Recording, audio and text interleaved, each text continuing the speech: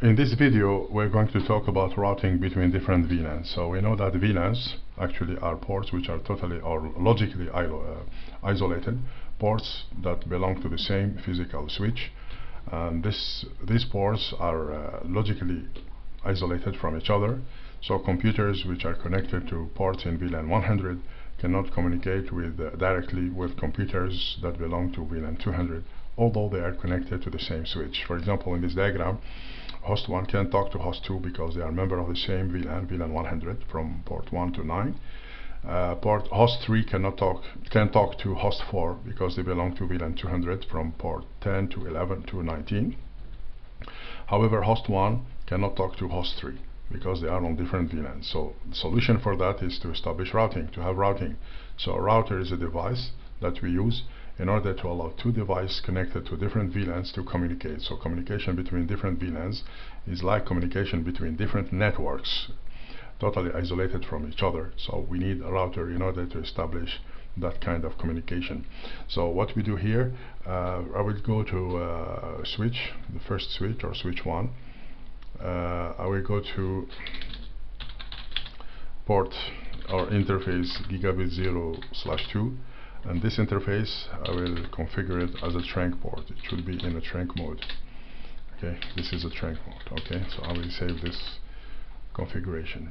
So the first thing now the second thing I will go to the router. And this router is not configured yet so what I will do so the first thing I will uh, I will change the name from the default to RT okay so this is the name of the router. The second thing I go to the gigabit interface 0 slash 0 slash 0 now this interface what I do I will uh, I'll bring it up. So I can bring it up like this.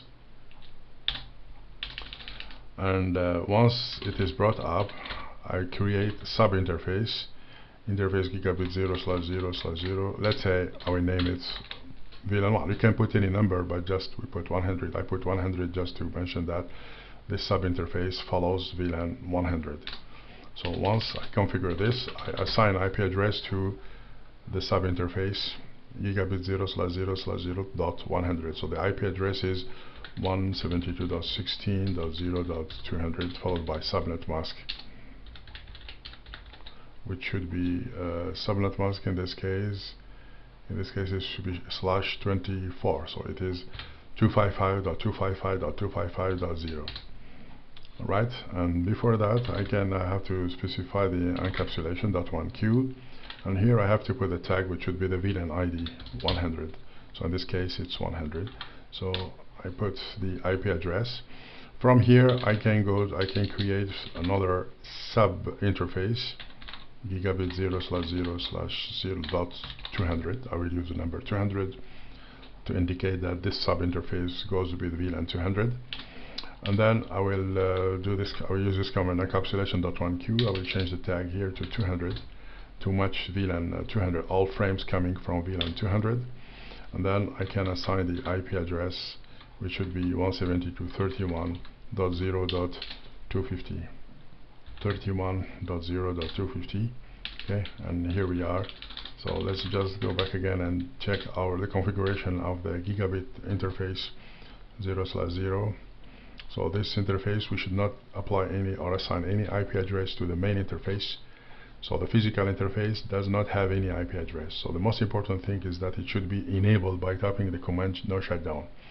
After that you can configure the sub interfaces uh, by naming them using this format dots dot and then follow it by a tag like 100 you can put any number. In fact you don't have to use the number relevant or uh, the number of your VLAN or VLAN tag but you can put any number. So in this case as a common practice we can use 100 just to indicate that this is this this subnet is related to VLAN 100 and then you specify the encapsulation of the trunking protocol this trunking protocol and then dot one q 100 which means that all frames coming from VLAN 100 will be treated will be received by this sub interface uh, and then we assign the IP address that follows the network the, the network address assigned to VLAN 100 172.16.0 and then here the host address same story with the second subnet uh, sub uh, interface uh, gigabit 0 slash 0 slash 0 dot 200. 200 means simply that this subinterface goes with VLAN 200.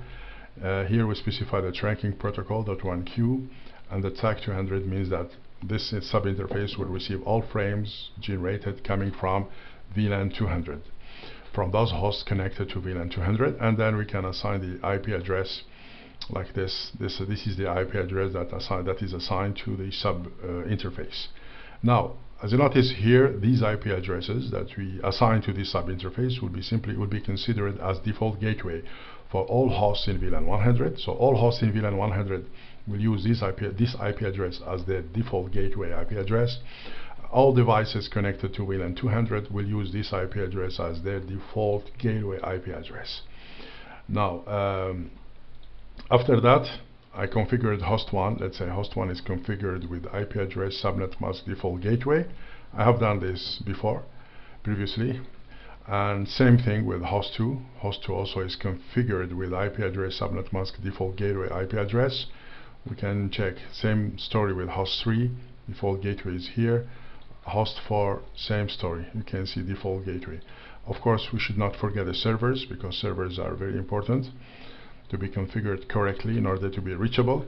Uh, this is with the web server 1 and this will be with web server 2 so all these are reachable. Now what I do now I go to host 1 and from host 1 I'll try ping I will ping the um, host 3 what is the IP address of host 3 it's 172 31.0.1 so let's see if this works. Okay so it will take some time maybe. And then we have a reply okay? So everything works fine.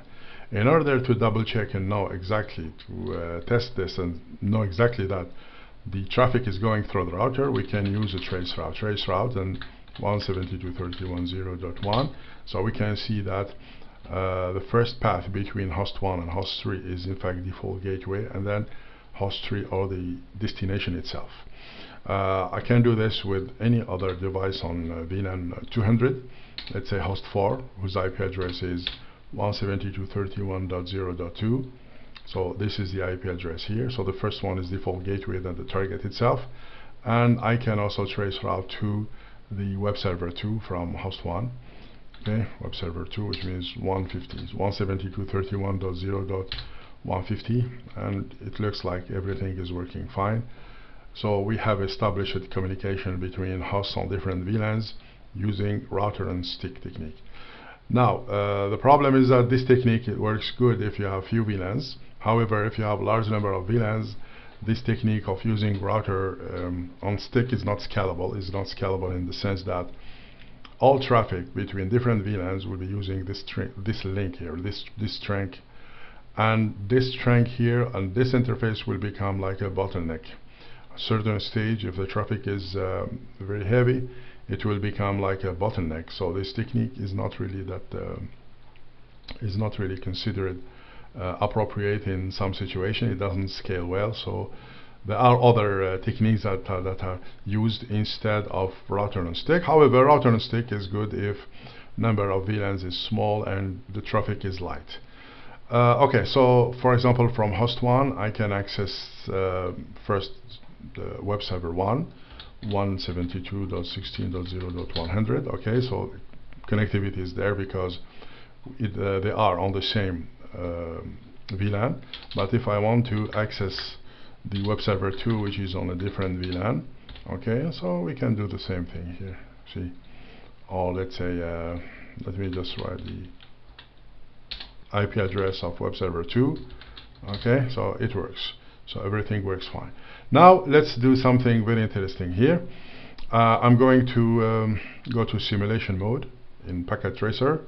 Simulation mode I will pick simple PDU okay I put it on host 1 and uh, the destination will be web server 2 now let's see how the traffic is going to move between host 1 and web server 2 so first there is an ICMP packet which is generated by host 1 in green color. This ICMP packet will go to the router. So of course it will be received by the uh, sub interface gigabit 0 slash 0 slash 0 dot 200 dot 100 sorry because this is the sub interface which is related to VLAN 100 After that, it's routed through the sub-interface gigabit 000 slash 200, and then it moves through VLAN 2.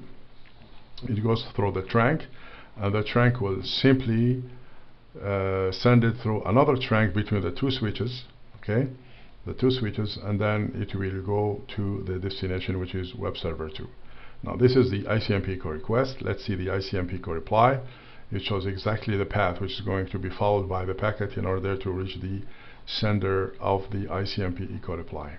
So you see here all the traffic is going through the router. So the router is a device which is going to be used in order to establish communication between different between hosts and devices connected to different VLANs and in this uh, demo we have used router on stick.